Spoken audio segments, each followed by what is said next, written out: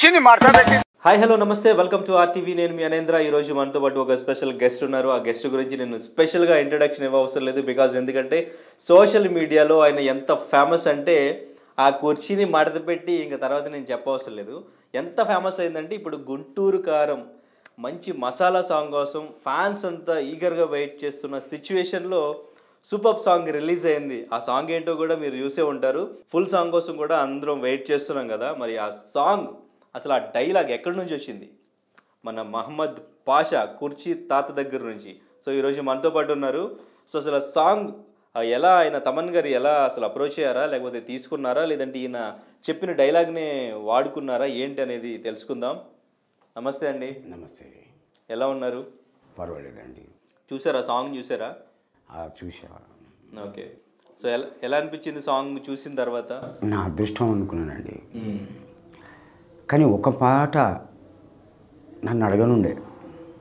నన్ను అడగకుండా అనుకోకుండా సత్య గారు టీవీలో మొబైల్లో చూపించిండు తాత నీ పాట వచ్చేసిందంటే నేను స్టన్ అయిపోయినా. కుర్చీ తాత. కానీ స్టెప్పులు అదిరిపోయినాయి సార్. పిచ్చ స్టెప్పులు వేసిండు. తర్వాత అనుకున్నా పోనీలే చూద్దాం పిక్చర్ ట్వెల్త్కి ఉంది కదా. రిలీజ్ అయినాక పోదాం. లేకపోతే రిలీజ్ నాడు పోదాం ఫ్యామిలీని తీసుకొని అనుకున్నా. అందుకే గమ్మున ఊరుకున్నా. కానీ ఒకటే మాటనండి. ఆ భగవంతుడు నాకు ఇచ్చిన ఓపిక నా తెలివి నా మాట నన్ను కాపాడుతుందండి. నా అభిమానుల అభిమానులతోటి. Next okay. అయితే ఫస్ట్ ఆఫ్ ఆల్ అంటే ఈ మీ కుర్చీ ఈ డైలాగ్ని మేము యూస్ చేసుకుంటాం అని చెప్పి గుంటూరు గారు టీం నుంచి ఎవరు కాల్ చేశారు? ఎలా అప్రోచ్ అయ్యారు? ఇది ఎలా జరిగింది? నా దగ్గరికి ఎవరు రాలా? కాకపోతే ఆ, ప్రొడ్యూసర్ పేరు ఏం పేరు? సుకుమారా? నాగవంశీ. డైరెక్టర్ పేరు? త్రివిక్రమ్. ఆ, అనుకోకుండా కలిసిండండి. సత్య గారితో ఏడికి పోయినామని మనం? మనం ఏడికి పోయినాం? ల్యాబ్కా అన్నపూర్ణ స్టూడియో. కాడ అనుకోకుండా అతను కలిసిండు. అతనే అయిన నాకు తెలియదు. అతనే అని నాకు తెలియదు. నమస్తే అంటే నమస్తే అన్నాడు వెళ్ళిపోయినా. తర్వాత తెలిసింది అతను పలాని వ్యక్తి అని. సరేలే నమస్తే అయితే పెట్టినా కదా అని సమ్ గమ్మున వచ్చిన నెక్స్ట్ ఓకే తర్వాత ఈ సాంగ్ మీది ఈ పదం ఏదైతే ఉందో దాన్ని సాంగ్లో పెట్టాలని ఎవరు అడిగారు? ఎలా ఎలా ఛాన్స్ వచ్చింది అది? నేను గిట్టిన జనాల ముంగడ కూర్చుమడత పెడతా అన్న మాట అతను డైరెక్టరో ప్రొడ్యూసరో క్యాచ్ చేసిండు. దాన్ని ఒక పాట రూపంలో మహేష్ బాబుకు యాక్టింగ్ చేయించుకున్నారు ఒక పాట రూమ్లో. రూపంలో. కానీ నేను ఫుల్ హ్యాపీ. ఎవరు మ్యూజిక్ డైరెక్టర్ తమన్ గారు పిలిచారా?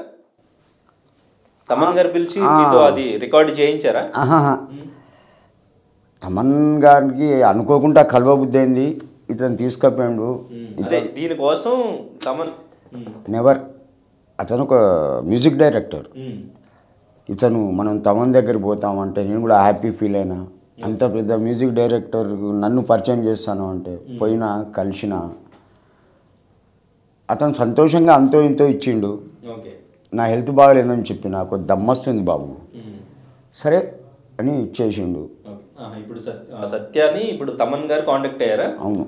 మీ వాయిస్ కావాలి మహేష్ బాబు గారి సాంగ్కి అని చెప్పి నన్ను ఎవరు అడగల? ఉమ్, సత్యాన్ని అడిగారు. సత్య కూడా పాపం అతను కూడా తెలియదు. మరి తమన్ గారి దగ్గరికి ఎలా వెళ్ళారు? ఎందుకు వెళ్ళారు అసలు? అతను డైరెక్టర్ మ్యూజిక్ డైరెక్టర్ అని సత్య గారు తీసుకుపోయినారు నా హెల్త్ ఇప్పుడు జస్ట్ బెటర్ అతని దగ్గర పోయే ముందు నాకు మాట్లాడే ఓపిక లేదు మొసొచ్చేది. ఆయాసం. పోయిన ఆయన దగ్గర రెండే నిమిషాలు ఉన్నాం. వచ్చిండు పాపం తనకు తోచిన సహాయం చేసిండు. చల్లా బతకాలండి. నెక్స్ట్ సో అయితే మిమ్మల్ని ఇది వైజాగ్ సత్యాకి తమన్ గారు కాంటాక్ట్ అయ్యారు. మీ వాయిస్ కావాలని అంతేనా? అవునండి. సో ఆయన ఎక్కడ స్టూడియోకి తీసుకుని వెళ్ళారా? ఎక్కడ చేశారు? అవును. స్టూడియోలోనా అన్నపూర్ణ. ఓకే సో ఎంత టైం పట్టింది? వన్ డే పట్టింది? One day one day full కూడా కాదు. మామూలుగా ఒక ఆరేడు గంటలు పట్టవచ్చు ఓకే రెమ్యునరేషన్ ఇచ్చారా? లక్ష. లక్ష ఇచ్చారా? ఓకే తమన్ గారే ఇచ్చారా? ఓకే సాంగ్ మొత్తం విన్నారా మీరు. మొత్తం చూడలా నేను. సాంగ్ వాడినా కానీ మొత్తం సాంగ్ చూడలే. ఒక రెండు స్టెప్పులు చూసిన మహేష్ బాబు అదిరి బిందే అండి. మహేష్ బాబు గారితో అంటే మీది కూడా ఒక స్టెప్ ఉంటుంది మధ్యలో అని చెప్పేసి. అయితే జస్ట్ మిస్ టూ మినిట్స్. అతని కార్ వెళ్ళిపోయింది నేను అక్కడికి వెళ్ళిపోయాను. ఓకే. సో అయితే షూటింగ్ ఉంటుంది. మీ స్టెప్ కూడా ఉంటుంది అయితే సాంగ్లో కంపల్సరీ. మహేష్ బాబు గారితో కలిసి. దేవుని దయ వల్ల మీ దయ వల్ల అందులో ఆ పాట పెట్టుడే నా అదృష్టం అండి. పన్నెండో తారీఖు నాడు పిక్చర్ రిలీజ్ అవుతుంది. నాకు ఇప్పుడే భయం అవుతుంది అసలు ఉండాలనా? ఇక్కడ వరంగల్కి వెళ్ళిపోవాలా వరంగల్లో కూడా రిలీజ్ ఉంది. ఉమ్. చుట్టుముట్టుతారు ఫ్యాన్స్ వచ్చి మిమ్మల్ని. మొన్న మొన్ననే ఏడు రోజులు పోతే వీళ్ళంతా ఎత్తుకులాడి తీసుకొచ్చిండు ఉమ్, ఇతను వాళ్ళు నా భార్య ఇంటర్వ్యూ ఇచ్చింది. మా ఆయన లేడని. అది చూసి తట్టుకోలేకపోయా చేసిన వీళ్ళు వచ్చి తీసుకొచ్చిండు అన్ని. రాత్రి రాత్రి కారులో. కానీ ఒకటి బాబు ఆడదాన్ని ఏడిపించినోడు ఎవడు సుఖంగా ఉండడు. నెక్స్ట్. మరి మీరు ఎందుకు కనిపించకుండా ఏడు రోజులు ఎక్కడికి వెళ్ళిపోయారు? మా అక్క హెల్త్ బాగాలేక. మరి ఇంట్లో చెప్పేసి వెళ్ళాలి కదా వాళ్ళు కంగారు పడతారు. అన్ఎక్స్పెక్టెడ్ ఇమ్రాన్ భాయ్ దగ్గర పోయినా. అనుకోకుండా ఇతడిని తీసుకుపోయాడు వెయ్యి రూపాయలు ఇచ్చిండు అతను. అప్పుడు కొద్దిగా తాగేది ఇప్పుడు మానేసిన. నైంటీ కొట్టినా చక్కగా టికెట్ తీసుకొని ట్రైన్ పట్టుకొని వరంగల్కి వెళ్ళిపోయినా. ఆడిగిపోతే ఏంది సుమారు ఆరు గంటలకు దిగిన ఆడ. మొత్తం ఇంటి చుట్టూ గుమ్మిగుడులు కుర్చీ తాత వచ్చిండండి. మా అక్కింటి కాడ ఇంకా అక్కడ సెల్ఫీలు మా అక్క పిల్లలు మనవళ్ళు మనవరాలు చాలామంది ఉన్నారు. ఇక అందరి సెల్ఫీలు ఇచ్చేవరకు రాత్రి పది పదకొండు అయింది. మళ్ళీ మా అల్లుడే పోయి చిన్న అల్లుడు సలీం ఒక వాటర్ తీసుకొస్తే బిల్డింగ్ ఉంది. వాళ్ళ ముందు తాగద్దని మీద కూకొని నైంటీ తాగి నైంటీ దాచుకున్న పొద్దుటికి. ఇక ఆ తర్వాత మళ్ళీ కామనే అక్కడ నాలుగు రోజులు ఉన్నా నాలుగైదు రోజుల పూట వీళ్ళు గాలిచ్చి గాలిచ్చి తికమత అయింది. ఎందుకంటే నేను చెప్పకుంటే ఎటు పోను? నా భార్య ఫోన్ చేద్దామన్న ఫోన్ నెంబర్లా. అక్కకి చెప్దామా? తిడుతుంది. చెప్పకుండా వచ్చినా అని. ఇక మళ్ళీ వీళ్ళే వచ్చి కార్ వేసుకొని వచ్చి తీసుకొని వచ్చిండు అంటే ఆడి పోడు కూడా నా లక్కేనండి. నేను బతికే ఉన్నా అనుకున్నారు అంతా. చచ్చిపోయింది అనుకున్నారు. పది సంవత్సరాలు అయిపోక నా ప్రాపర్ వరంగల్కు. నన్ను చూసి చాలా సంతోషపడ్డారు. కుర్చీ తాత వచ్చిండు మన ఊరోడు. ప్రపంచ పటంలో వరంగల్ను పెట్టినా సార్? వరంగల్ను. ప్రపంచ పటంలో. మీరు ఇప్పుడు ఇది సాంగ్ రికార్డింగ్ అయిపోయిన తర్వాత వెళ్ళిపోయారా? లేకపోతే మధ్యలో ఈ మధ్యన రికార్డ్ చేశారు ఇది? ఈ మ- ఈ మధ్యనే. ఈ మధ్యనే. ఈ సెవెన్ వీక్ ఇది సెవెన్ డేస్ కనిపించలేదు కదా? ఈ సెవెన్ డేస్కి ముందే అయిపోయిందా రికార్డింగ్ ఆ, అంతకు ముందే. ముందే అయిపోయిందా? ఓకే. మహేష్ బాబు గారిని కలవలేదా? కలిసే ఛాన్స్ ఉండే బాబు కానీ కలుస్తా. ఉమ్. పిక్చర్ రిలీజ్ రోజు ఆయన ఎట్లయినా వస్తాడు గుంటూరు మీ సాంగ్ ఇది వీడియో కూడా సాంగ్లో మీది ఏదో స్టెప్ ఇద్దరితో కలిపి ఉంటుందంట కదా. లే మిస్ అయింది అంటలేనా అదే అంటే మళ్ళీ రమ్మని చెప్పారు అని చెప్పేసి తెలిసింది నాకు. వచ్చింది. రికార్డ్ చేయడానికి. అల్లు అర్జున్దో లేకపోతే ఇతందో ఆఫర్ వస్తుంది మీ దయ వల్ల. ఆ భగవంతుడు చల్లగా చూస్తే నన్ను. త్రివిక్రమ్ గారు ఆఫర్ ఇచ్చారంట కదా నెక్స్ట్ అల్లు అర్జున్ మూవీలో కూడా. క్యారెక్టర్ ఫిబ్రవరిలో. ఓకే చెప్పారా? షూటింగ్ టైం చెప్పారా? ఇంకా టైం ఇవ్వాలా? ఫిబ్రవరి అని డేట్ ఫిక్స్ కాల. ఓకే. కానీ ఒకటి బాబు నా కళలో కూడా ఊహించలే. ఇవాళ ఇంతమంది అభిమానులు నాకు ఉంటారు. నా గురించి వేడి చేస్తారు. నా గురించి ఇంటర్వ్యూల కోసం కెమెరాలు వస్తాయి లైట్లు వస్తాయి. నా కోసం టైం కట్ చేస్తారు. ఎక్స్పెండేషన్ చేస్తారు టైం అని చెప్పి నేను ఊహించలా. నేను సింపుల్గానే ఉంటా. ఇప్పుడు నేను ఎంత పెద్ద మనిషి అయినా కూడా సింపుల్గానే ఉంటా ఇట్లా. కాకపోతే ఈ గడ్డం పెరిగింది తీసేస్తా ఇవాళ. మామూలుగా మీకు ఇప్పుడు హెల్త్ ఇష్యూ కూడా వచ్చింది కదా సో ఏంటి ప్రాబ్లం ఏంటి? దమ్ము హెల్త్ పెద్ద ఏజ్ పెద్దది అరవై రెండేళ్ళ వయసు. గ్లూకోజ్ తెలియదు ఇప్పటివరకు. ఉమ్, లైట్గా దమ్ము వస్తుంది బాబు. ఓకే. పోయినా ఇవాళ హాస్పిటల్ తీసుకుపోయిన సత్య గారు ఇక్కడ ఎల్బీ నగర్. మళ్ళీ తీసుకొని వచ్చిండు ఆ తర్వాత మీ ఫోన్ వచ్చింది మేము ప్రాబ్లం ఏం చెప్పారు హాస్పిటల్లో? ఎక్స్రే గిట్లా తీసుకోవాలా? ఇవాళ ఇప్పుడే పోదామన్నాడు హాస్పిటల్ అడ్మిట్ చేస్తా అని ఎర్రగడలు నేను అన్న నా భార్యతోటి ఇంటికి కొడుకు కోడలు వచ్చిళ్ళు వాళ్ళతోనూ గంట రెండు గంటలు ఎక్స్పెండేషన్ చేసి కటింగ్ కట్టడం చేయించుకొని స్నానం చేసి నీట్గా పోతా. ఈ పిచ్చి అవతారంతో హాస్పిటల్ పోతే వీడు కుర్చీ తాత పిచ్చోడా అంటారు. అని అంటే నా భార్య కూడా ఒప్పుకున్నది. ఇప్పుడు నాతో ఉంది నా భార్య. ఇప్పుడు మీరు ఇంతకుముందు ఫేమస్ అవ్వకముందు మీ లైఫ్ కానీ మీకు వచ్చే డబ్బులు ఇన్కమ్ కానీ ఎలా ఉండేది? ఇప్పుడు ఫేమస్ అయిన తర్వాత అందులో ఏమైనా మార్పు వచ్చిందా? మీ జీవితంలో కానీ మీకు వచ్చే జీ జీవితం జీతంలో కానీ చాలా వచ్చిందండి. అప్పుడు వరంగల్లో కూరగాయలు అమ్మిన ఒక ఇరవై సంవత్సరాలు. తర్వాత ఎర్రగడ్డ రైతు బజార్లో ఆకుకూరలు కొనుక్కొని అమ్ముకునేది. సుమారు ఐదు వందలు ఆరు వందలు ఒక్కోసారి వెయ్యి రూపాయలు దొరికేది. నాకు అప్పుడు కొంచెం హ్యాబిట్ ఇంత దాగి కొన్ని పైసలు దాచుకునేది.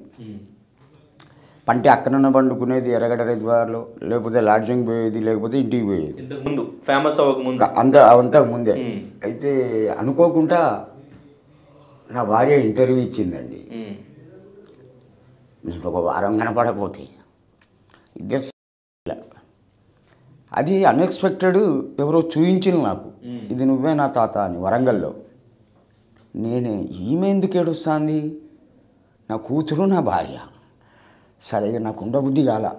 చక్కగా ట్రైన్ పట్టుకొని వచ్చేసిన. వస్తామనుకున్నా ఇక వీళ్ళు వచ్చిండ్రు నేను వచ్చి కార్లో ఆ. తీసుకొచ్చి ట్రైన్ నుండి ఎక్కడ వచ్చా?